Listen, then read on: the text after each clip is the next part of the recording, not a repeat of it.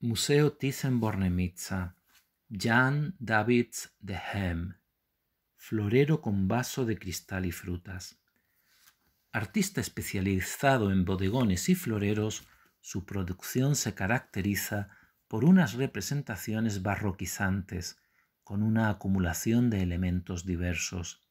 En su obra se aprecia la influencia de artistas flamencos como Franz Snyders, el pintor de grandes naturalezas muertas típicamente barrocas y repletas de animales de caza, animales vivos, frutas y flores, en complejas y recargadas composiciones. Sin embargo, otros artistas como Geda dejaron huella en su estilo hacia un mayor detallismo y un menor recargamiento. El pintor elabora en esta tabla un conjunto de elementos vegetales y de pequeños animales, con dibujo preciso y firme y un colorido brillante.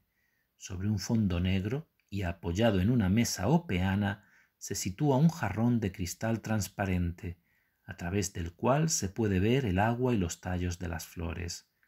El detallismo y virtuosismo de que hacían gala estos artistas le llevan a representar en el jarrón el reflejo de una ventana acristalada que también parece incidir levemente sobre las cerezas del primer plano.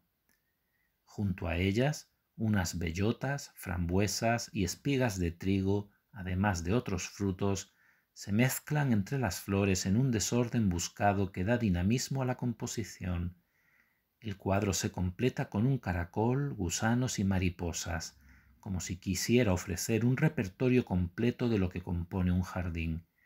La iluminación es artificiosa, destinada a resaltar aquellos motivos que más interesan al artista. Una vez más nos hallamos ante un ejercicio de habilidad técnica para imitar la realidad. Por otro lado, al igual que se ha pensado de otras muchas naturalezas muertas, esta obra podría tener un significado alegórico en función de los elementos que aparecen en ella.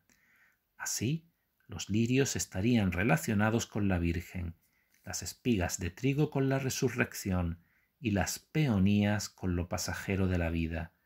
En este discurso, los insectos podrían hacer también referencia a la vida y la muerte.